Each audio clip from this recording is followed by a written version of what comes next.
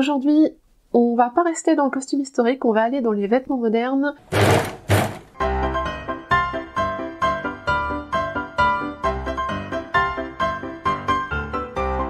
Coucou, moi c'est Marion de Green Martha. Sur ma chaîne, on parle couture, créativité et corset. Aujourd'hui, le plan c'est de me coudre un pull. Plus précisément, je veux me coudre un nouveau sweat avec ce joli tissu à chat qui m'a été gentiment envoyé par ma petite mercerie. Cette vidéo est en partenariat avec eux. C'est un tissu Ocotex, une de leurs nouveautés de printemps. Je me suis fait en début d'année un autre sweat que j'aime beaucoup, que je trouve extrêmement confortable, et ça m'a donné envie de répéter l'opération. Je ne vais pas travailler à partir d'un patron, j'ai regardé, il y en a pas vraiment qui ont attiré mon œil. J'ai une idée assez précise de ce que je veux faire, donc je vais vous montrer comment je prends un pull de ma garde-robe qui me va, que j'aime bien, comment je relève le patron et comment je modifie ce patron pour faire quelque chose qui colle à l'image que j'ai en tête. Bon, on commence par faire un croquis. Donc, je veux une encolure bateau et des manches un peu chauve-souris. Alors, j'ai quelques questions à régler. C'est la longueur que je lui donne, comment je le finis en bas, et est-ce que je mets des poches? J'ai un pull qui a une découpe comme ça qui est marrante. Je me demande si je referai pas pareil. Celui-là, il a des manches courtes. Moi, je voudrais quelque chose qui ait des manches longues, vu, vu la matière du sweat. C'est un sweat assez épais, avec intérieur minky, donc plutôt pas forcément trop pour cette saison. Pour dessiner mon patron, j'utilise un rouleau de papier craft. J'ai un petit reste de craft marron que j'utilise pour ce genre de choses-là. Je n'ai besoin que de relever la moitié du patron de mon pull existant, vu que je vais couper mes pièces sur le pli. Le modèle que j'ai choisi est très simple, très carré, ce sont surtout des lignes droites. Je vais pouvoir juste prendre quelques repères pour le tracer. Je marque précisément la pente de l'épaule, la courbe de l'encolure, et pour le reste, je note juste les extrémités des coutures, et je vais ensuite relier les points à la règle. Je dessine mon patron sans valeur de couture. C'est comme ça que je procède en général. Je trouve cela plus précis et plus facile à faire si je dois faire des modifications. J'ajoute les valeurs de couture soit en les traçant sur le tissu, soit en les découpant simplement à main levée. Je sais que ma tête de manche tombe au même endroit que la couture, là, de ce t-shirt. Donc je vais faire une mesure. Je sais que ça n'a pas besoin d'être hyper précis. Je tiens le mettre avec cette main et ça va me permettre d'avoir, alors en centimètres c'est mieux, j'ai une longueur de 54, je vais me laisser un petit peu de marge parce que j'aime bien avoir des manches un petit peu longues dans lesquelles je peux glisser mes bras, donc je pense que je vais me rajouter 4 cm de marge. J'ai prélavé mon tissu avant de le couper, donc normalement je devrais pas avoir de... Donc normalement il devrait pas rétrécir et je vais mesurer au passage le tour de poignet.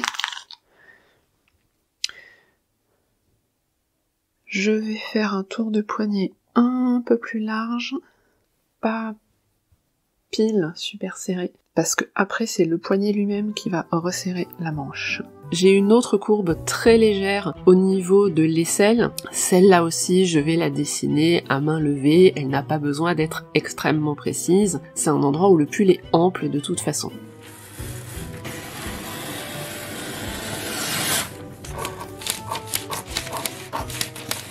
Il a vraiment une forme marrante ce patron. J'ajoute mes valeurs de couture à l'œil, je travaille presque toujours avec du 7 mm, donc depuis le temps j'ai l'habitude. Si vous avez besoin de les tracer, tracez-les, faites ce qui fonctionne le mieux pour vous. J'ai fait une seule pièce de patron pour le dos et le devant. Souvent la seule différence sur les vêtements en maille, c'est au niveau de l'encolure. J'ai juste un repère pour le point le plus bas de l'encolure de devant et je n'ai même pas tracé cette encolure, je l'ai découpée à main levée. Je sais à peu près la forme qu'elle doit avoir. La réalisation d'elle-même devrait être assez rapide. Je travaille à la surjeteuse. Je sais que en un ou deux jours, je vais avoir bouclé ce projet-là. Ça me change des projets historiques. Ça me permet aussi de remplir un petit peu ma chaîne en attendant d'avoir fini mon prochain gros projet qui, je crois, va prendre un petit peu de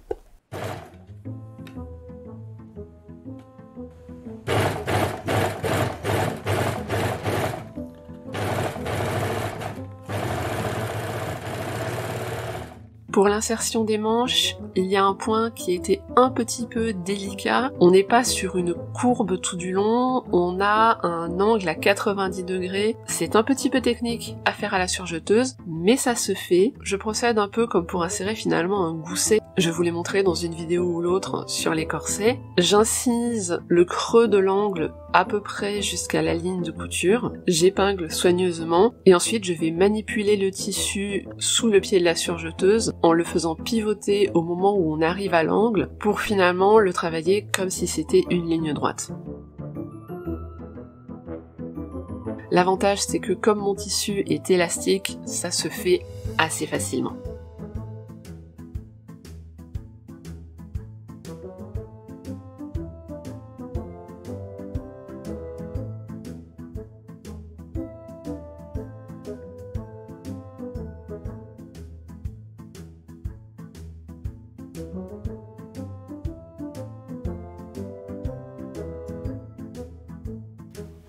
Je repasse ensuite mes valeurs de couture vers la manche.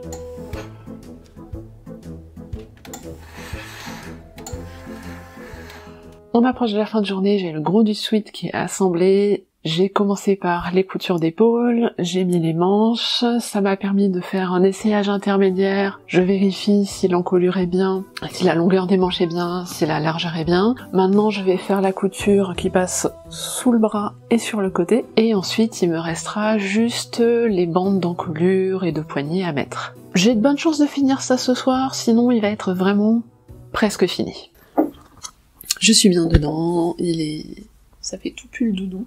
J'aurais peut-être pu laisser les manches un petit peu plus longues. Je vais mettre un poignet un peu long. Pour la bande de poignet, je vais faire quelque chose de un peu plus serré que la manche, parce que j'aime bien que ça me serre au niveau du poignet. C'est un truc sur lequel je suis pas du tout sur des mensurations standards, j'ai des poignets très fins. Ça me paraît pas mal. Niveau longueur, je sais que je veux quelque chose qui soit comme ça, et ensuite il faut que je le fasse en double. Donc, on va être... C'est assez approximatif, hein, mes calculs.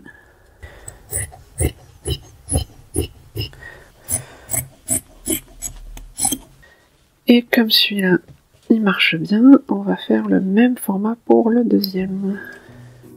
Pour ce qui est de l'encolure, je vais faire une bande sur l'avant et une bande sur l'arrière et je vais les croiser en fait comme ça au niveau de l'épaule. Ça va me permettre d'avoir un, peu de jeu et de pouvoir travailler avec des bandes droites.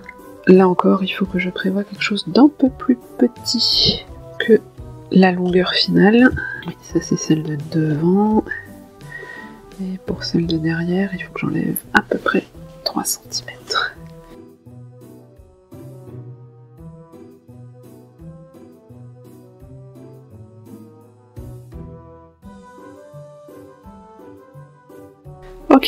On a notre encolure.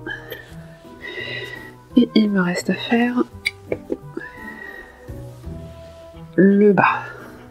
Pour lui, je vais faire légèrement plus petit, mais pas beaucoup. Et je vais passer là où j'ai la plus grande longueur. Là, je veux vraiment juste finir le bord et pas particulièrement. C'est parfait.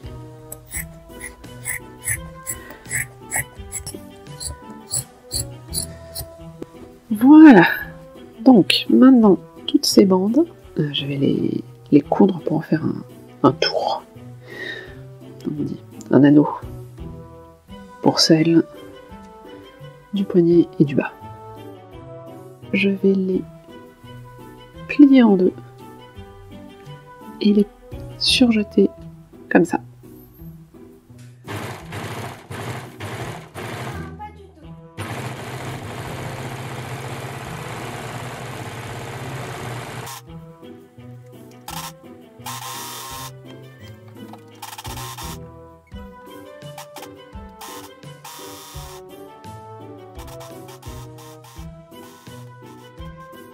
Je vais prévoir des bandes d'encolure et des bandes de poignée légèrement plus petites que l'endroit où je vais les insérer. Je veux éviter que si elles s'étirent un petit peu à la pose, elles baillent. C'est aussi le poignet et le cou des endroits où le vêtement doit être ajusté. Et comme on est sur un tissu élastique, il faut mettre un petit peu d'aisance négative. Une fois que j'ai cousu ma bande sous forme de tube, je la replie envers contre envers pour créer donc cette bordure qui ressemble un peu au bord-côte qu'on peut trouver en mercerie mais que je n'avais pas envie d'utiliser pour cette fois-ci. Pour l'encolure, je commence par fixer ensemble les deux bandes de devant et de derrière.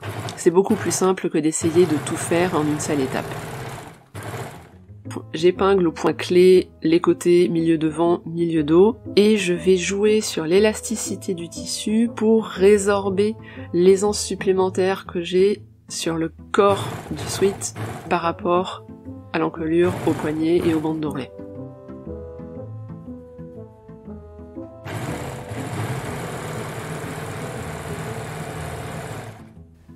Vu comme mes poignets sont fins, il faut que je passe le poignet à l'intérieur de la manche pour réussir à le glisser sous le pied de la surjeteuse. Je m'embête pas particulièrement à épingler. J'essaye de décaler un petit peu les deux coutures pour pas que ça me fasse une trop grosse épaisseur, mais je laisse quand même la couture du poignet plutôt sur le dessous du bras et c'est parti.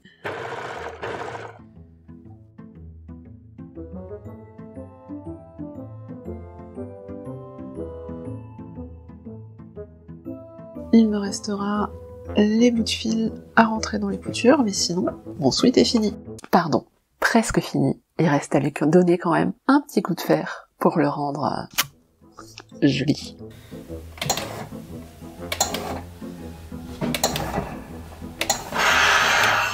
À la surjeteuse, je ne peux pas faire un arrêt en cousant un arrière comme à la machine à coudre. Ce que je fais, c'est que je laisse une assez grande longueur de chaîne hors du tissu. Je viens passer ces fils tous ensemble dans une aiguille à tapisserie et je les glisse à l'intérieur de la couture, entre les fils et les épaisseurs de tissu. De cette façon, la chaînette ne risque plus de se défaire.